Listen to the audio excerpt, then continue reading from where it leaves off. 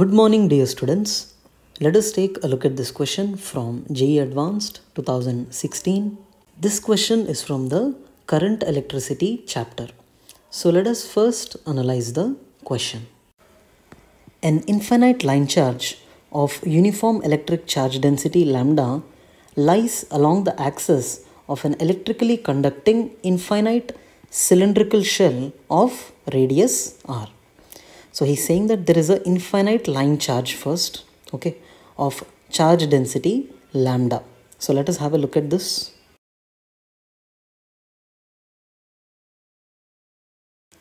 So this is an infinite line charge of charge density lambda. I have drawn it finite here, so this is infinite, okay? And this is present at the axis of a cylindrical shell of radius capital R.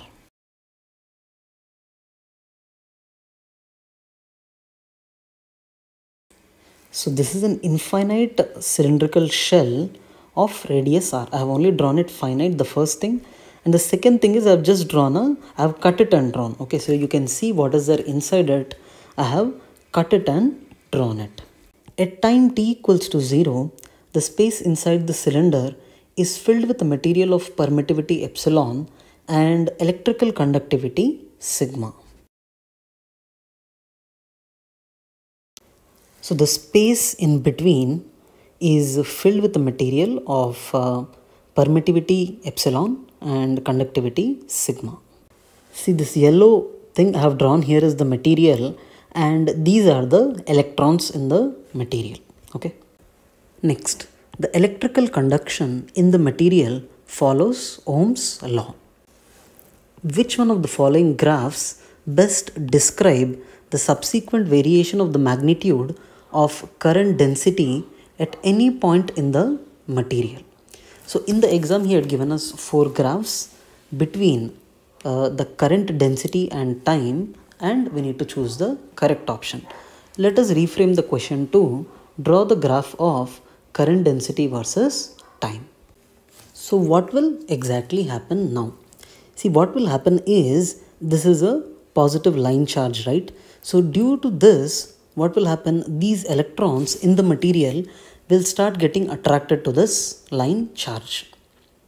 And as these electrons get attracted uh, what will happen? A positive charge will form on the outer surface of the shell.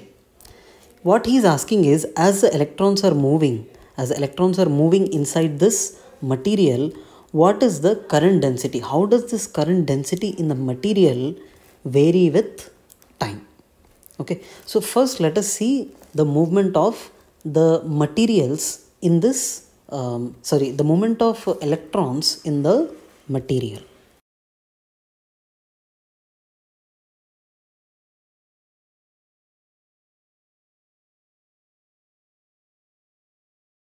So you would have observed that these electrons have moved closer here and there is a positive charge which appears outside this cylindrical shell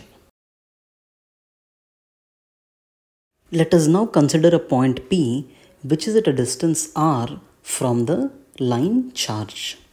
And let us find the current density at point P as a function of time. Due to this line charge here, there is a field in this material and due to that field, there is a force on these electrons in this direction.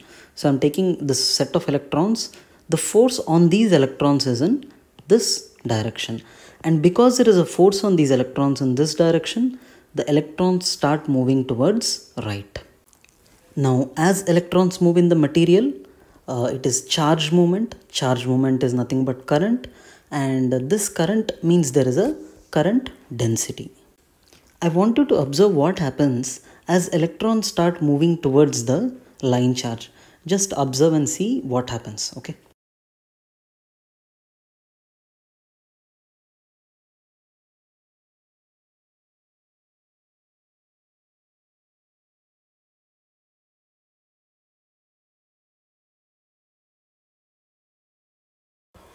as the electrons are moving closer see this is a force on the electron okay as the electrons are moving closer there is more negative charge which is there at the center there is a positive line charge plus also negative charge starts building up here. So what is happening is the field or the force on these electrons start decreasing as the electrons start moving this side. Okay. See once again. The force on the electrons is decreasing and they come to rest.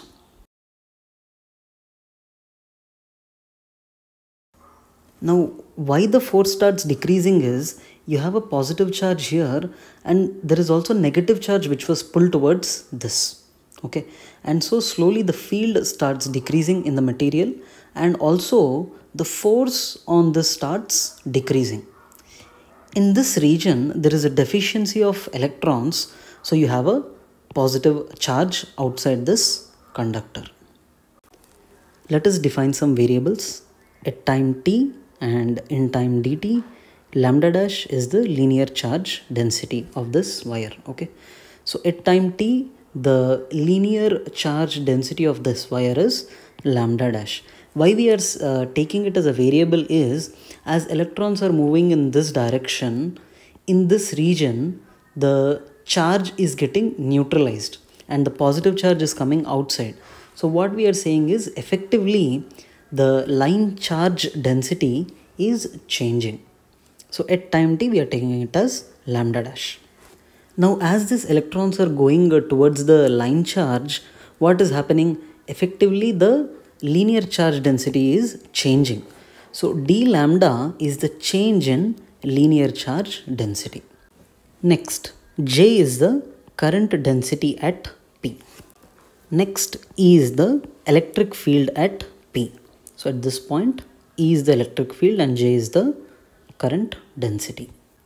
From Ohm's law, at point P we can write J equal to sigma into E, where sigma is the conductivity of this material.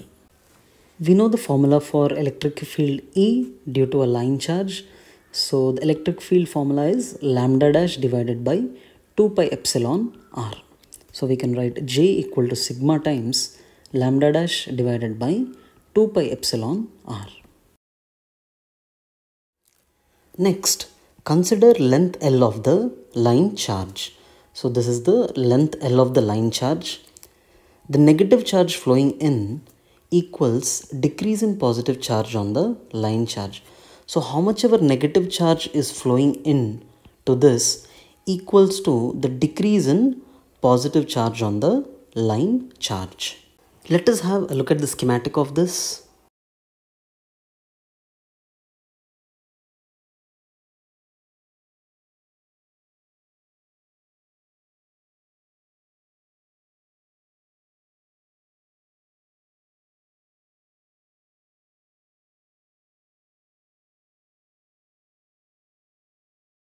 So you would have seen in the schematic that as electrons were moving in there is a decrease in positive charge here. Effectively the positive charge has gone here to the outer surface of the cylindrical shell. The negative charge flowing in okay the negative charge which flowed into this in time dt is j into a into dt. J is the current density a is the a cylinder of length l which we are taking concentric with this line charge. Okay. So this is the area a of the cylinder which is of length l. So this is a charge flowing in equals to minus d lambda dash into l. So d lambda dash is a decrease in the line charge density into the length L of the line charge. We are putting a negative sign here because this d lambda dash is negative. d lambda dash is lambda final minus lambda initial. As this uh, lambda dash is decreasing so you put a negative sign. So this is a positive quantity and this is a negative quantity. To make this a positive quantity we put a negative sign here. In the next step we put j. We have already calculated this as sigma lambda dash by 2 pi epsilon r area a of the cylinder is this area through which these electrons are coming in and that is 2 pi r into L. So this whole thing is 2 pi r into the length L into dt equal to minus d lambda dash into L. We can cancel out 2 pi r here and 2 pi r here, L here and L here. So after this we get sigma by epsilon lambda dt equals to minus d lambda dash into L. Rearranging the terms we get d lambda dash by lambda dash equal to minus sigma by epsilon L into dt. At time t equals to 0, the line charge density is lambda. We need to find the line charge density at time t.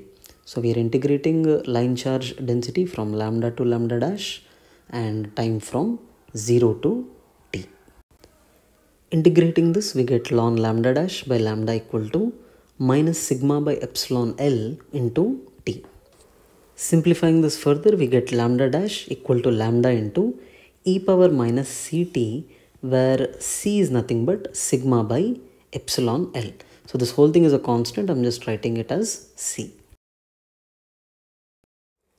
So we have got lambda dash equals to lambda into e power minus ct. j equal to sigma lambda dash by 2 pi epsilon r. We have already seen this. Putting lambda dash as lambda into e power minus ct, we get j equal to sigma lambda e power minus ct divided by 2 pi epsilon r. In the question, it is asked to find the current density at a random point in the material. So we can take r as a constant for any random point and we can say this whole thing is a constant. So finally we have j equals to some constant j naught into e power minus ct. Let us have a look at both the electron movement as a function of time and also the graph of j of t versus time.